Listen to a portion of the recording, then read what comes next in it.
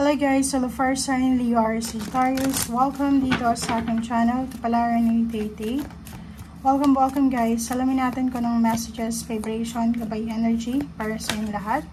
The general reading, so um, gamitin mo yung intuition sa panunod. So yung first card sa iyo is choices. So, posibleng sa araw na ito, uh, marami kang kailangan pagpilian, maraming choices or decision making na kailangan mong gawin. So, uh, dito sinasabi na gawin mo yung pinaka-best na choice or gawin mo, piliin mo yung talagang best of the best or yung talagang choice na galing sa puso mo. Okay? So, anything na related ka dito, um, sundin mo ito na sinasabi. Or posibleng sa araw nito, bibigyan ka ng pagkakataon ng universe na makapili sa kung ano mang gusto mong piliin uh, sa usapin ng relationship, money, career, or financial. Or parang sinasabi sa'yo dito na may choice ka. Uh, parang sinasabi na hindi ka stagnant. Uh, may kakayahan ka na gawin kung ano yung uh, kailangan mong gawin or gusto mong gawin. Okay.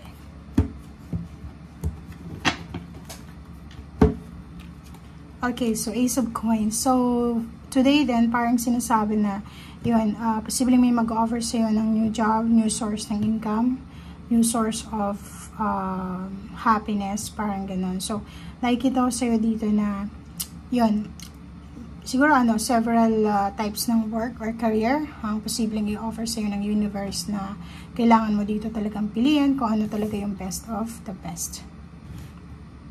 Next is Three of Cups uh, may posibleng celebration na uh, inihahanda ka or posibleng um, happenings or events na masaya ang posibleng darating sa iyo in the near future, in few days, or in few months.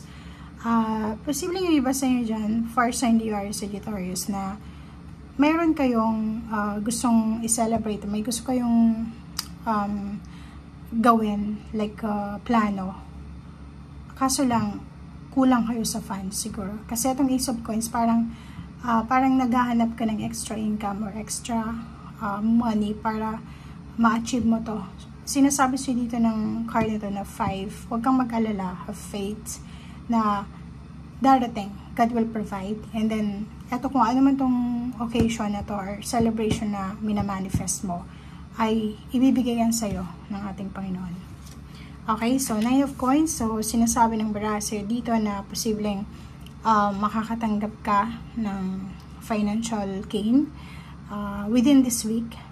Kahit hindi sa araw na ito, within this week, posibleng makatanggap ka ng financial gain or pwedeng hindi ikaw, part ng family mo, it's either asawa, boyfriend, girlfriend, siblings, parents, relatives. So, uh, nakikita natin dito na still balance pa rin yung flow ng money uh, energy, energy ng money sa buhay mo. So, wag kang masyadong magpanic or mag-alala. Okay? The Hermit, uh, if ever marami kang plano sa buhay, like plano para sa pagnanegosyo, uh, plano para madagdagan yung income, or plano para sa um, money, financial, pag-isipan mong mabuti. Lalo na dito sa choices, di ba? Parang sinasabi sa'yo na yung choices na to, tsaka the hermit, sinasabi na uh, bigyan mo ang sarili mo ng chance para mapili, may pag-isipan kung ano talaga yung best choice para sa'yo.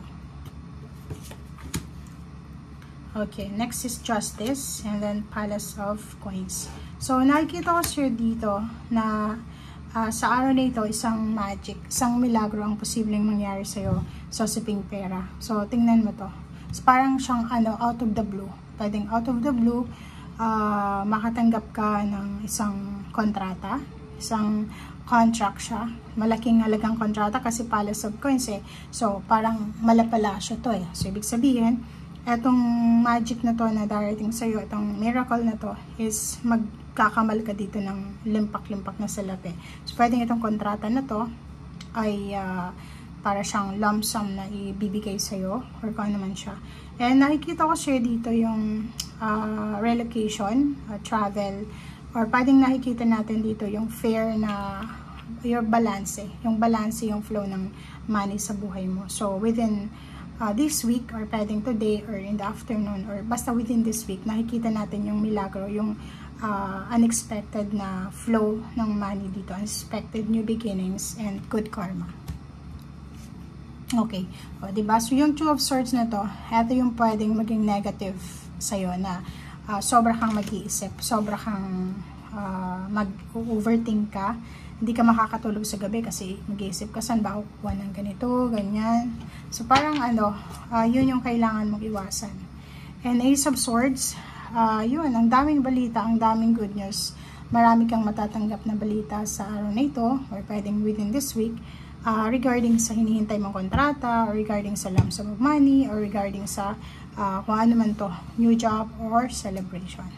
Six of Wands, uh, nakikita ko siya dito na maraming mga tao sa paligid mo ang nagko-congratulate siguro sa iyo. So, siguro may achievements ka na or pwedeng family achievements to, pwedeng sa anak mo, sa asawa, sa parents, sa siblings na achievements na marami yung tao na nagko-congratulate sa iyo. Parang itong Six of Wands is nasa position ka. Nandun ka sa position na nasa pedestal ka. Parang ikaw yung nasa highlight, ikaw yung spotlight. Alam mo yung nasa, parang Rhina, tsaka uh, yung Queen and King, na 'di ba yung parang nagpa-parade sila. So ito parade ito eh, 'di ba? So parang nakikita ko na lahat ng tao nakatingin sa iyo or pwedeng yung mga tao is ikaw yung topic nila. So usap-usapan nila na parang sinasabi nila, alam mo si Leo, si Sagittarius, si Aries, uh, sobra siyang lucky or sobra siyang swerte kasi nakuha niya yung ganito ganyan. So, ikaw yung parang nasa spotlight sa ngayon.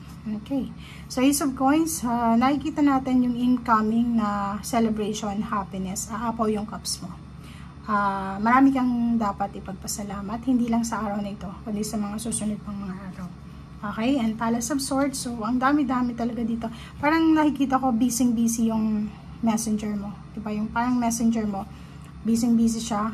Kasi ang dami mong chinachat, email, chat, call. So, yung phone mo ring ng ring kasi maraming nangungumusta or maraming nagka-congratulate sa'yo.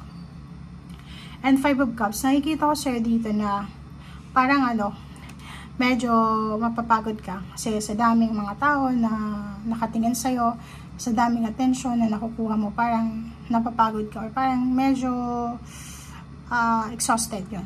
Drain yung energy. Siyempre, di ba, like for example, uh, buong araw kong nagchat-chat, buong araw kong nag-answer ng mga ng mga tawag sa'yo or kung ano pa, nakakapagod din. So, nakikita natin na medyo makakaramdam ka ng ganun. So, hangman, uh, sinasabi na may mga plano ka sa araw na ito na posibleng hindi mo ituloy dala ng pagod or dala ng siguro um, gusto mong matulog or gusto mong makapagpahinga. Okay, so thank you guys for watching and see you again. Bye!